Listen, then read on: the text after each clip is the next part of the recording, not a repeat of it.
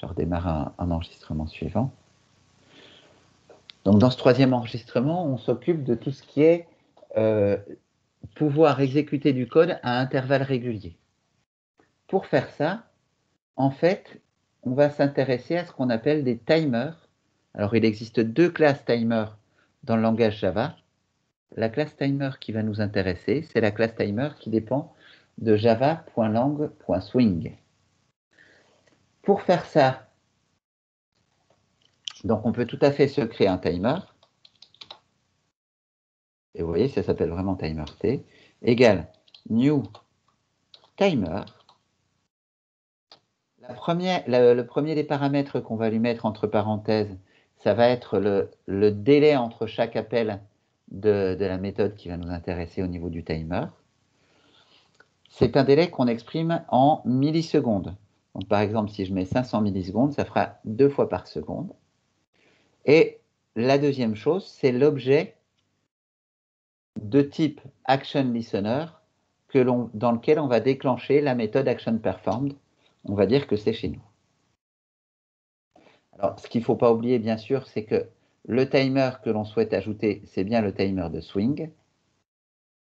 Et là, ça y est, c'est bon. Et la deuxième chose, bien entendu, nous, il faut qu'on soit, qu'on puisse être considéré comme un action listener. Donc, je vais dire que je suis un action listener et je vais implémenter. Ah ben, je n'avais pas encore mis les, imports. Vous voyez, tout ça, ça, ça peut être éventuellement gênant. Finalement, on va lui mettre import java.event.étoile, ça ira très bien comme ça. Et donc, il faut créer la méthode ActionPerformed.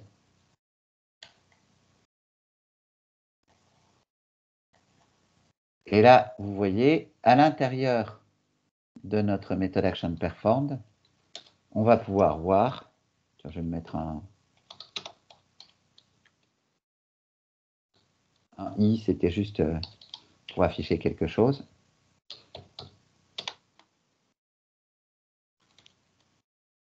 Et on va voir se dérouler notre top. Donc, j'ai bien mon timer que j'ai ajouté dès le début. La chose que je ne dois pas oublier, éventuellement plutôt à la fin de la méthode du constructeur, c'est de lui dire de démarrer. Là, il va démarrer. Et tiens, on pourrait rigoler. À chaque fois qu'on... Euh, oh, on va déjà le faire comme ça.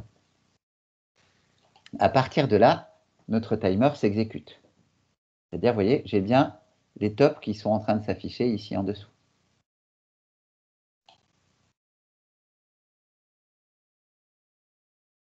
Donc là, ça a l'air de marcher sur notre, euh, timer, vous voyez. Et on retrouve bien les choses. Ce qui pouvait être euh, rigolo éventuellement, c'est de se dire, finalement, quand j'appuie avec la souris, j'ai envie que le top il s'arrête, que le timer il s'arrête. Et euh, si je rappuie avec la souris, j'aimerais bien que mon timer se remette. C'est tout à fait possible, vous voyez, en réponse à l'événement, j'appuie avec la souris, on peut dire si t.is running, alors t.stop. Si le timer est en fonction, il s'arrête. Et puis sinon, et start. Et là, à la limite, j'aurais même plus besoin, voyez, de le lancer à la fin du, de la méthode main, de, du constructeur de la classe. Là, ça fonctionnerait. Donc là, vous voyez, pour l'instant, le timer ne se lance pas. Je clique une fois, le timer, il est lancé. Hein je reclique une autre fois, apparemment, il s'arrête. Je clique une troisième fois, il se, redéclenche, etc., etc. Et vous remarquez que, d'ailleurs, il y a euh, le key listener a récupéré l'événement 1 sur la souris. L'événement 3 si je clique sur le troisième bouton de la souris, et l'événement 2 si je clique avec la roulette centrale. On peut faire des jolis dessins comme ça. Donc voilà pour le, pour le timer. En gros, euh, pour utiliser un timer, on crée un nouveau timer de type java x.swing.timer.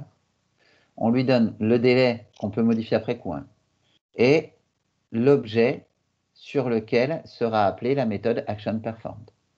Si on a mis 10 ici, il faut bien que nous, on ait implémenté l'interface actionListener.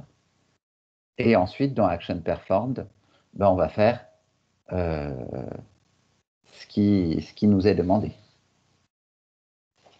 Ça va pour l'enregistrement? C'est bon, je peux arrêter ici pour l'utilisation du timer?